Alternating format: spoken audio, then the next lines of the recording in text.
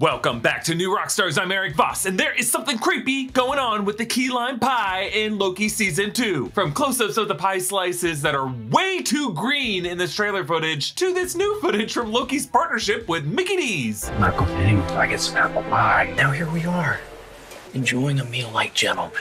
You slap me in the face. I'm not gonna got you a shake, okay? Yeah, Mobius beelining for that McDonald's apple pie aligns with some disturbing things we've been noticing about the role of pie in this upcoming season of Loki. Its oddly vibrant shade of green, despite real key lime pie being more yellow in color, and some another poster and shots in the trailer that indicated the TVA is now being revealed as a kind of power plant, but rather than one that uses atomic or nuclear energy, one that uses temporal radiation emitted from a temporal core. You can read those terms on the poster for the suit that Mobius wears in the trailer as he approaches this core. The Timeline Preservation Administration might be some entity in the TVA tasked with maintaining and recycling all materials that are used in this process to reduce its temporal carbon footprint, so to speak. This brings me back the unsettling slice of key lime pie that is fed to the TVA employees every week in the automat. And it's bright shade of green. Food should not be this color. And I think the most famous dystopian sci-fi example here is a 1973 Charlton Heston film, Soylent Green, based on the 1966 novel Make Room, Make Room by Harry Harrison, in which future society, set in the year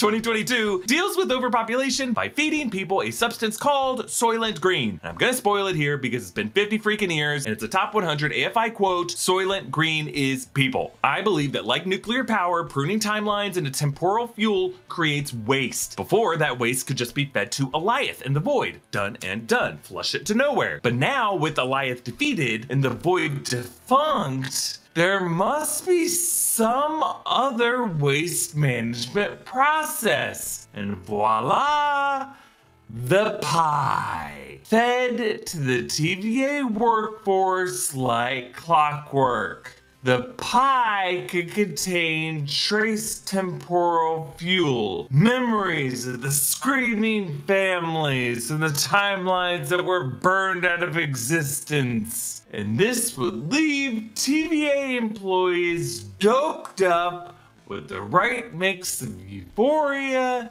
and anxiety to keep them on task and to keep them from asking the real questions. Like any pizza day at any job.